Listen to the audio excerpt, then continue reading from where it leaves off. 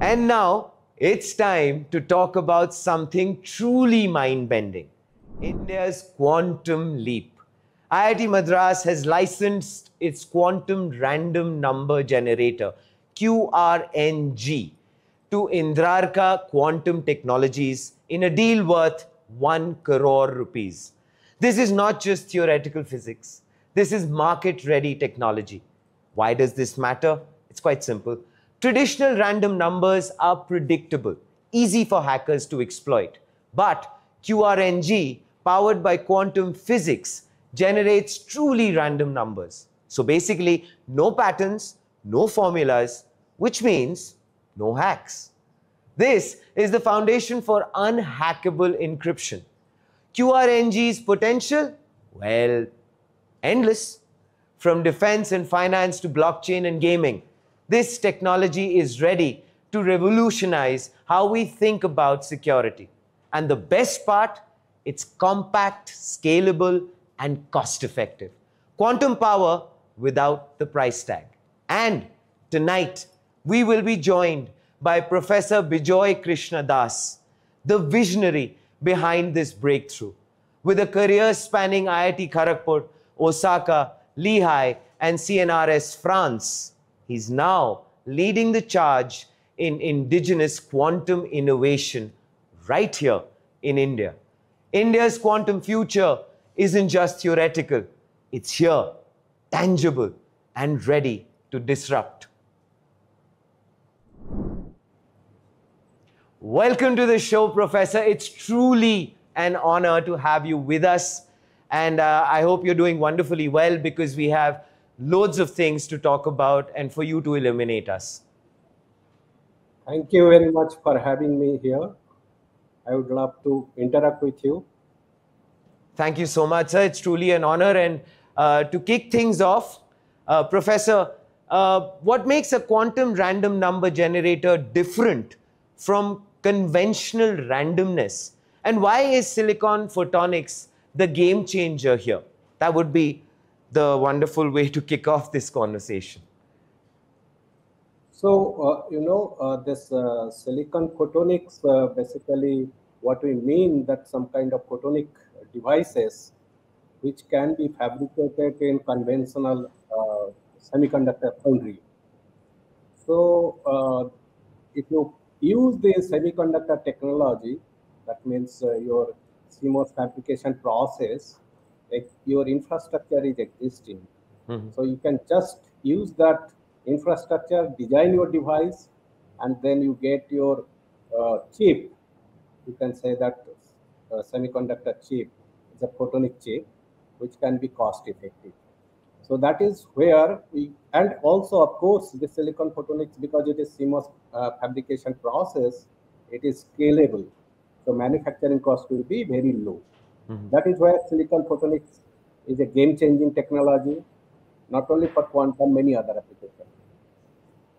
You know, it's what's wonderful also when you talk about scalable, sir, and the sheer expanse of this technology. Uh, the next uh, thought that actually comes to mind is that it's from defense to banking. Uh, QRNG is being called the backbone of unhackable security. So, would you be kind enough to explain how this technology directly impacts national security and pretty much everyday digital trust? So, you know, this uh, for security purpose, the absolute security you can ensure uh, by means of uh, quantum key distribution. You have to generate quantum key, which is by uh, physics, it is completely unbreakable. You can use that to encode your data or whatever conversation uh, that will be secure. If someone is hacking, then of course you will be able to know. That is the key for quantum physics. And this quantum physics being used for generating quantum random number. This quantum random number, it is useful for your key generation. Mm -hmm. And it is encoding and uh, decoding both cases. You need really a random number so that your everything, all the data, communications, that will be secure. So essentially, sir, it's foolproof, and uh, like you said, that, that the red flags would immediately go up if at all somebody is trying to hack in, somebody is trying to do something as far as the security measures are concerned, which actually means that there would have been a lot of research which which must have gone in a very deep dive level of research which is why i would like to ask you this that iit madras has been steadily converting academic research into deployable technologies. Shakti microprocessors and now qrng how do you see academia and industry partnerships shaping india's quantum future? Definitely because you know uh, for example if i say that uh, this uh, uh quantum random number when you just uh, generate in chip scale you have to have your device design which can be uh, compatible in to fabricate in existing infrastructure so that your cost will be lower mm-hmm. so we had to start very early as early as 2021 and we develop a lot of design uh, rules for foundry manufacturing with the help of our foundry partner and you know this uh, uh, any photonics chip you fabricate it needs some kind of electronic driving circuitry sure so you have to develop electronic hardware as well to drive your photonics hmm. chip right? Hmm. and in this photonics chip we Uh, exploit vacuum fluctuation, quantum vacuum fluctuations. And uh, that vacuum fluctuation we accelerate or amplify using a local oscillator, local laser oscillator. And those type of thing require a very good light coupling efficiency to the photonics chip, hmm. laser light coupling efficiency of the photonics. So that technology also we indigenously developed in our lab. And then we have also packaged it with our industry partner ISMO Microsystem Bangalore. So that also took a lot of time because you know photonics chip you need electrical interfacing, optical interfacing, RF interfacing, all those type of thing interfacing required.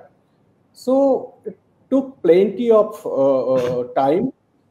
In the beginning, we had a just simple uh, PhD problem, research problem given to our one of our research scholar. Mm -hmm. But later on, when we find that that comes out very good results, then a lot of researchers, other engineers, they also uh, involved and developed the complete technology, field deployable technology.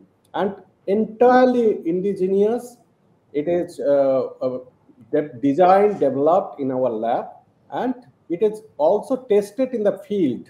You know, we have the uh, Society for Electronic Transactions um, and Security, uh, they are known for security testing, etc. So they, they, we have deployed our product and uh, tested there, and successfully it was utilized. So that is how we are at this stage, and uh, industry came forward to take over. And uh, uh, right now, the this product actually going for um, scaling up and to and will be deployed for, for cloud service. So quantum random number will be uh, uh, given as a service uh, Beautiful. through cloud. Yeah. So, so before before actually I, I get on to the photonics bit, I, I, I, I could hear a sense of pride, a sense of happiness in your voice.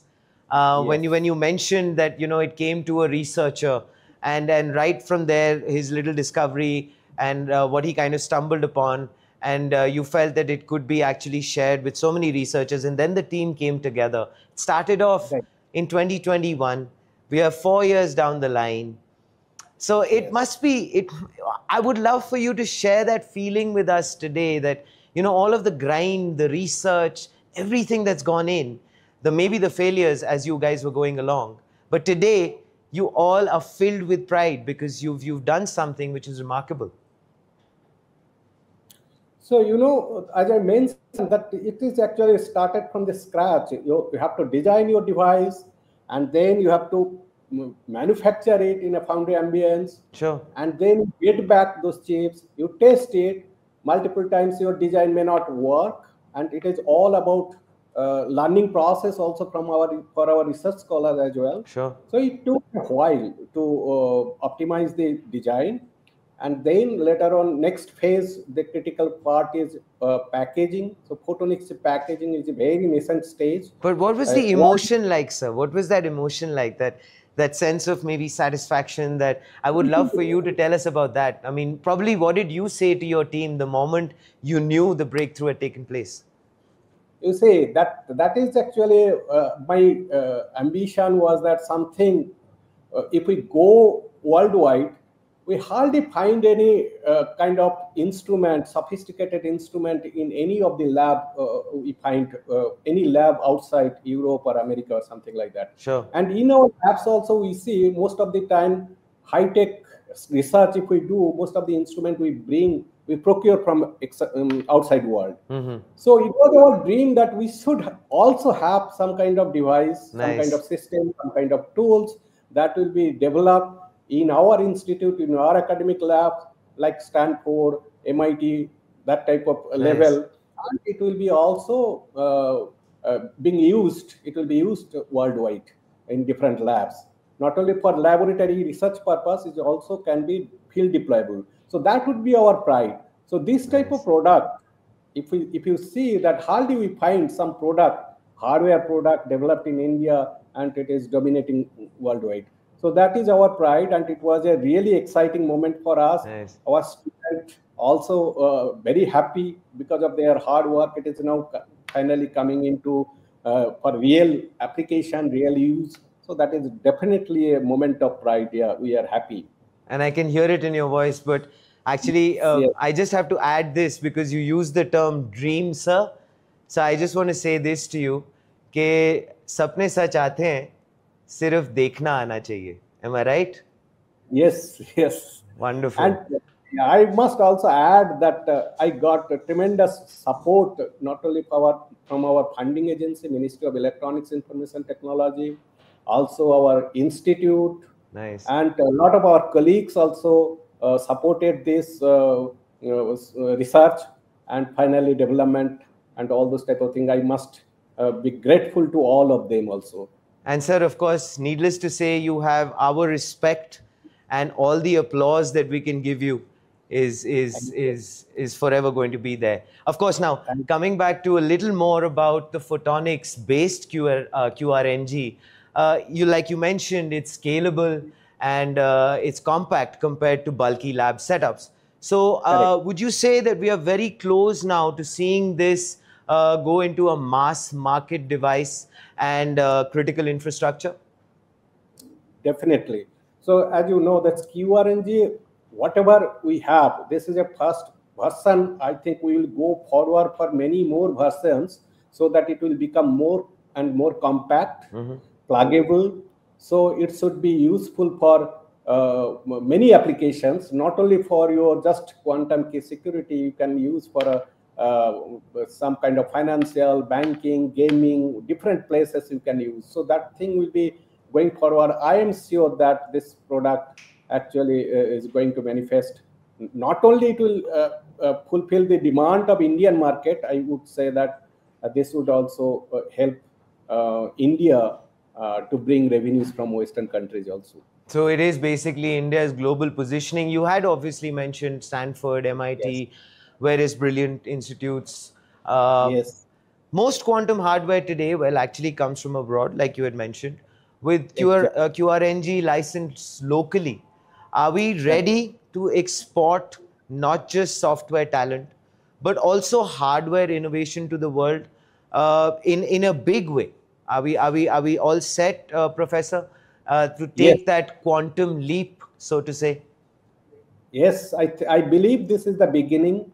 So anything you know, as you mentioned in the in your first question, that a lot of quantum proof of concept you can demonstrate using bulk optics, big uh, uh, table size, room size experimental setup. But when you go for chip scale design, indigenously designed, and you can in future you can also integrate directly on QKD transceiver chip also this type of QRNG.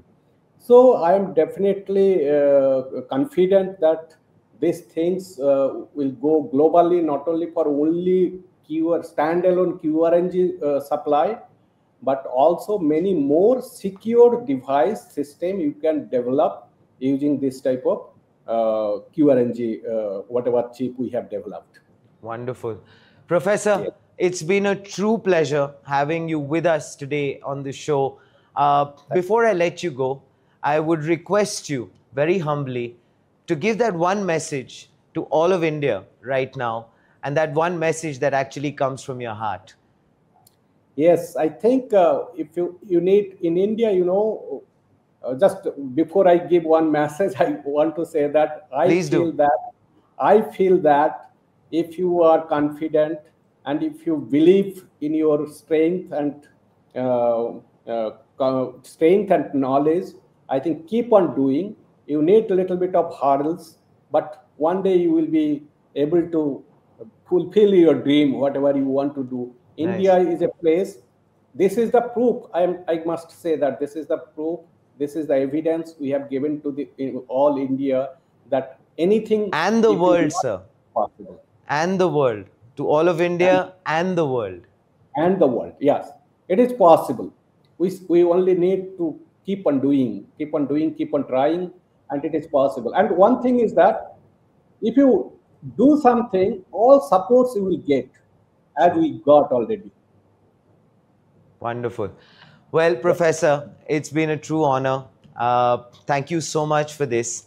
Thank and you. I thank, thank you. you, your team, and all of the brilliant work that you have been doing and will continue to do, and to break new ground as you will keep going along.